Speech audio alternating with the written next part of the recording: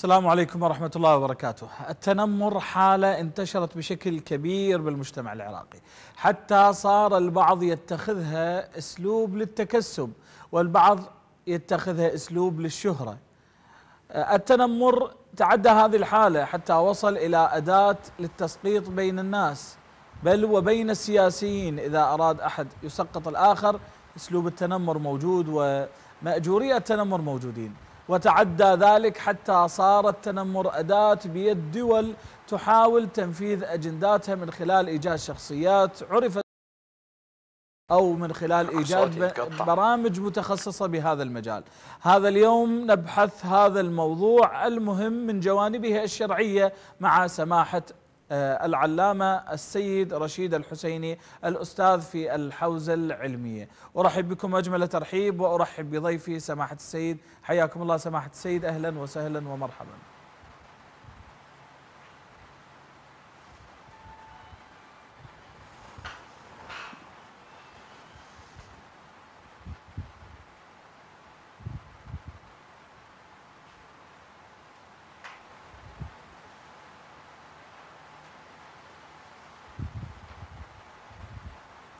نعم سيدنا آه، إذا كنت تسمعني سلام عليكم ورحمة الله وبركاته. حياكم الله.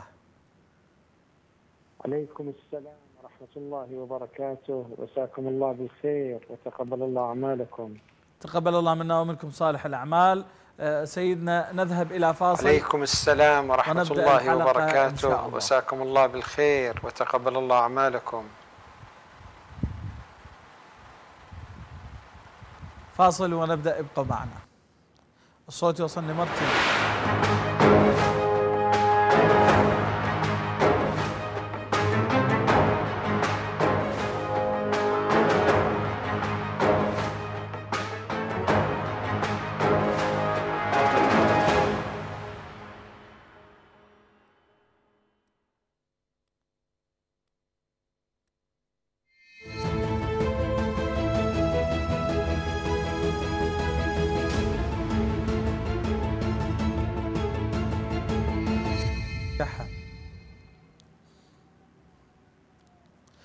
أكرر الترحيب بفضيلة سماحة السيد رشيد الحسيني ضيفي في هذه الحلقة وأبدأ السؤال ولكن اسمحوا لي خارج موضوع الحلقة وبعد إن شاء الله أبدأ بموضوع الحلقة. أرحب مرة أخرى بكم سماحة السيد سيدنا العزيز آه، كثير من الإخوة عندما عرفوا اليوم لقائي بسماحتكم حملوني سؤال مهم وأخذ مساحة في آه، مواقع التواصل الاجتماعي. آه، لكن آه، إن أمكن نجيب عنه الآن. آه، وبعده إن شاء الله نبدأ بموضوع موضوع الحلقة. سيدنا الإخوة حملوني سؤال هو عن موضوع الشور. ما هو رأي سماحة السيد المرجع بهذه بهذا بهذا العزاء؟ قبل البدء طبعا عذرا وإن كان خارج موضوع الحلقة لكن هذا أمانة حملتها.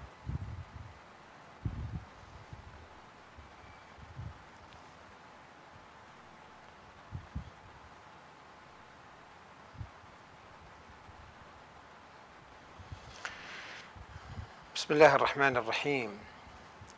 في واقع الحال فيما يرتبط بالاستفتاءات الشرعية من المرجعية الدينية لا بد أن يوجه هذا السؤال إلى مكتبه الكريم والرجوع إلى الموقع الرسمي لسماحته لمعرفة رأيه في المسائل المختلفة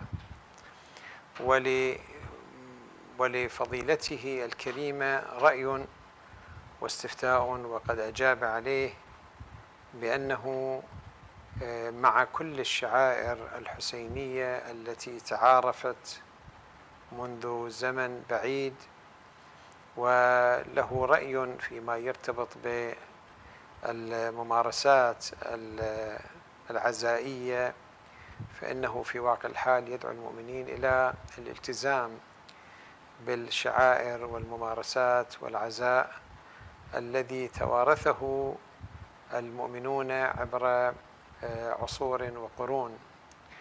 ويمكن للمؤمنين الرجوع إلى موقعه الكريم والبحث عن الاستفتاءات المختلفة حول الشعائر الحسينية. وإن شاء الله تعالى الإخوة يرجعون إلى الموقع وإلى المكتب لفهم رأيه التفصيلي في هذه الأمور. نعم. البيانات التي صدرت مؤخرا هل هي صادرة؟ يعني بيان قرئ في العتبة من, خلال من عن طريق بعض الإخوة. هل في العتبة العلوية أتحدث؟ هل هو صادر من مكتب سماحة السيد؟ هل يمثل سماحة السيد المرجع؟ أم هو يمثل موكب معين وجمهور من الجماهير معينين؟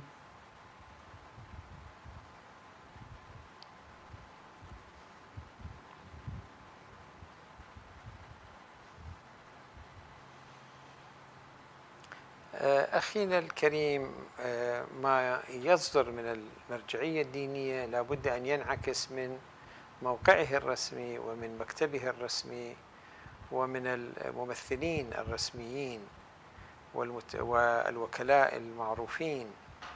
أما ما يلقى في المواكب والمحافل والمنتديات إنما هي تعكس وجهة نظر القائمين على تلك المواكب.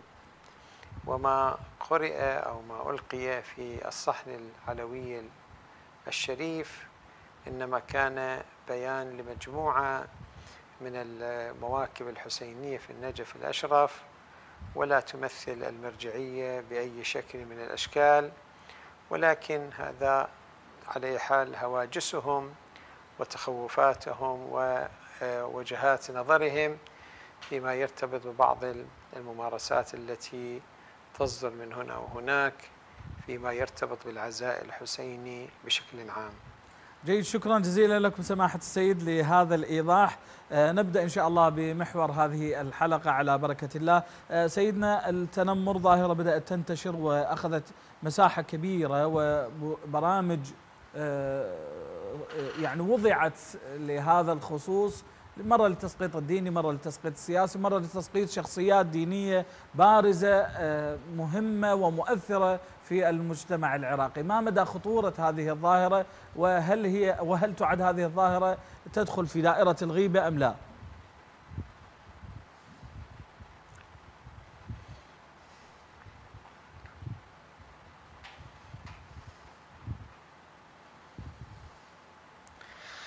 بسم الله الرحمن الرحيم.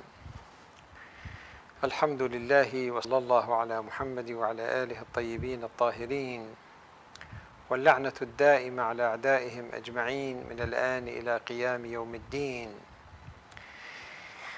اسمحوا لي في بداية هذا اللقاء أن أبين أمرا مهما فيما يرتبط بمصطلح التنمر. مصطلح التنمر يظهر ليس مصطلحا صادرا من الوضع الإسلامي أو ليس صادرا من الدائرة والثقافة الإسلامية. إنما هو مصطلح عرب من قبل المعربين لمصطلح وارد من الثقافة الغربية. والثقافة الغربية تعبر عن السوء والاستهزاء ونوع من على بالطرف المقابل بالسخرية منه والتعليق عليه ونوع من الحط من قدره بسبب شكله أو بسبب وضعه أو بسبب آه، بعض صفاته فهم يسمونه تنمر. وهذا ليس مصطلحا إسلاميا بل المصطلح الإسلامي يختلف اختلاف جوهري. التنمر في المصطلح الإسلامي آه، هو في الواقع مأخوذ من من النمر والحيوان الذي له حالة من الفروس إيه، من حالة من الشجاعة والهجوم والاقتناص وعدم التردد هذه حالة في واقع الحال جيدة بالنسبة للإنسان المسلم في قبال الغلط وفي قبال الباطل.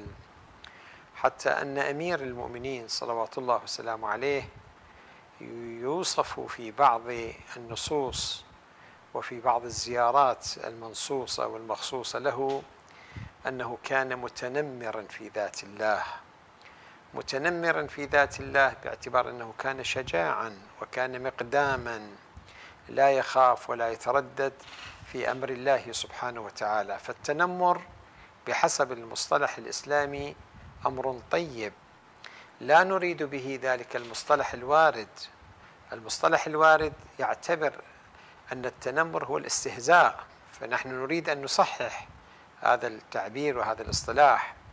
الاصطلاح الديني والاصطلاح المعرفي التنمر بمعنى الاستهزاء والسخرية أن تسخر من شخص وأن تستهزئ به تسخر من وجهه تسخر من خلقته تسخر من صفاته تسخر من تعاملاته. هذه السخرية في واقع الحال هي التي نهى الله عنها في جملة من الآيات الكريمة. في سورة الحجرات رب العالمين يبين عدة صفات غلط يقوم بها الناس منها الغيبة ومنها السخرية ومنها الاستهزاء فإن هذه القضايا كلها مرفوضة. ولا يسخر قوم من قوم عسى أن يكونوا خيرا منهم. ولا نساء من نساء عسى أن يكن خيرا منهن. لا أن يسخر من مؤمن ولا يسخر من مؤمنة لأن الذي تسخر منه قد يكون خيرا منك. قد يكون شكله غير جميل قد تكون عنده عاهة في جسده ولكنه قد يحمل قلبا سليما قد يحمل كفاءات عالية قد يحمل علما وافرا. وأنت على حال قد تكون فاقد لتلك الخصوصيات. فالعاهة البدنية والعاهة الجسدية والمظاهر الخارجية هي ليست مقاييس لباطن الإنسان ولشخصيته فالاستهزاء بالشخص والسخرية منه هذا من أشد المحرمات عند الله سبحانه وتعالى. ولكن هل يعد ذلك غيبة؟ لا ليس له ربط بالغيبة. الغيبة مفهوم آخر وهو كما ورد عن النبي الأعظم صلى الله عليه وآله ذكرك أخاك بما يكره فهو غيبة. أن تذكر الآخرين الغائبين عنك الغائبين عنك تذكرهم بما يكرهون فهو غيبة. أما حالة التنمر أن أنت في واقع الحال تستهزئ بشكله أو تضحك على مظهره أو فكرته وتستخف بوجهة نظره. هذا يسمى تنمرا ولكن هذا يمكن أن يكون وجها لوجه وقد يكون الشخص الآخر المستهزئ به. وقد يكون حاضر وقد يسمع كلامك. هذا في واقع الحال هي السخرية بعينها. نعم يمكن أن يكون حالة الاستهزاء لشخص غير موجود. نعم. حالة لشخص غير موجود فأنت بهذه القضية ستجمع آه، ذنبين. الذنب الأول غيبة لأنه غير موجود وأنت اغتبته اغتبته بعدم حضوره. ثانيا الذنب الآخر وهو سخريته أنت تسخر عن به وهو غير موجود. فسخرية وغيبة سخرية وغيبة. أما الغيبة بحد ذاتها أن تتكلم عن شيء صدر منه أو يقع منه وفي واقع الحال آه تريد الاستنقاص منه تلك غيبة. نعم أما أن تسخر من خلقته أو تسخر من شأنه فهذا استهزاء وقد يجتمع الاستهزاء مع الغيبة كما ذكرت لكم آنفا. سماحة السيد نعم. هناك بعض الشخصيات المدفوعة من قبل دول أو جماعات وضعت برامج للسخرية من رموزنا وشخصياتنا وعلمائنا. وهذه وهذه الشخصيات ال ال ال التي اشتهرت بالاستهزاء والسخرية أو ما يعرف اليوم بالمصطلح الصوت يتخطى لو التنمر. نعم.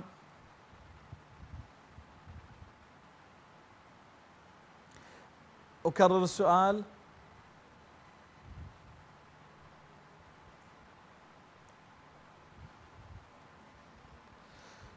اسمح لي أن أكرر السؤال سماحة السيد. لو تسمح أعيد السؤال حتى يتضح كمل السؤال كمل. عند عند المشاهد وعند سماحتكم. هنالك شخصيات دفعت من قبل أحزاب أو جهات أو تيارات أو آه، دول لعله تقف خلف هاي الشخصيات وضعت لها برامج للتنمر ما يعرف بالتنمر مجازا للسخرية أو للاستهزاء بشخصياتنا ورموزنا ومثاباتنا الدينية وغير الدينية. هذه البرامج آه، اشتهرت وأخذت مساحة في المجتمع العراقي، ما حكمي أنا آه، كيف أتعامل مع هذه الشخصيات وكيف أتعامل مع هذه البرامج لا سيما هي تستهزئ برموزي وشخصياتي ومثاباتي.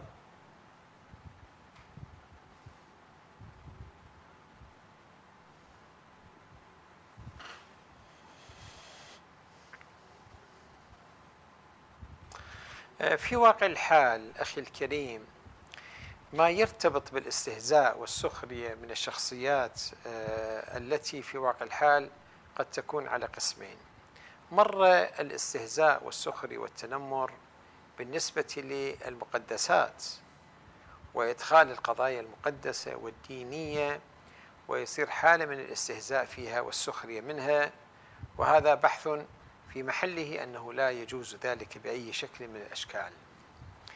أما الحالة التي جنابكم ذكرتوها وهي أن التنمر والاستهزاء بالشخصيات العامة الشخصيات الاجتماعية السياسية الدينية وضمن برامج آه، معروفة ولها آه، على حال متابعون كثر. هذه في واقع الحال. يمكن أن نتحدث عن هذه القضية في النقاط. النقطة الأولى كيف أسمح لنفسي أن أتابع آه، برنامجا يتعرض إلى الآخرين بالسخرية والاستهزاء والاستخفاف. وهذا في واقع الحال لا يقبله الشرع على أنه تسمح لنفسك على أن يتعرض يتعرض إلى أشخاص هم مهما كانوا سواء كانوا شخصيات آه، سياسية أو شخصيات عامة أو شخصيات اجتماعية دينية عشائرية.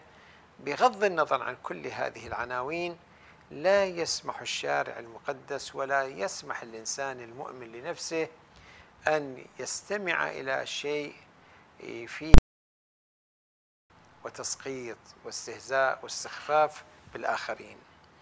لأنه إذا سمحت لنفسي ذلك بالنسبة لغيري فكيف أسمح ذلك يوم من الأيام يكون لي أنا؟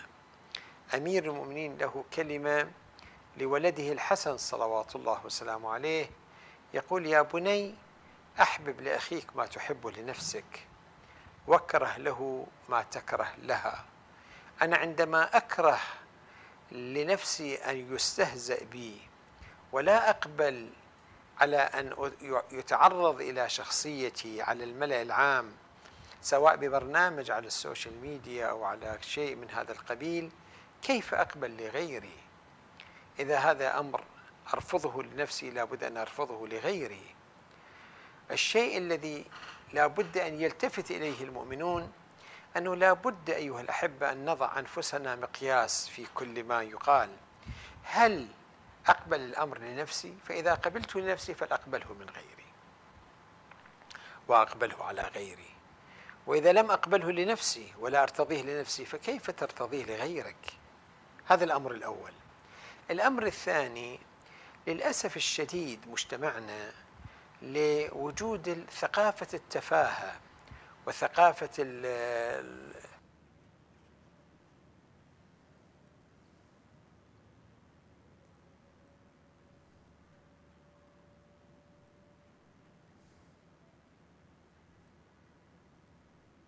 نعم.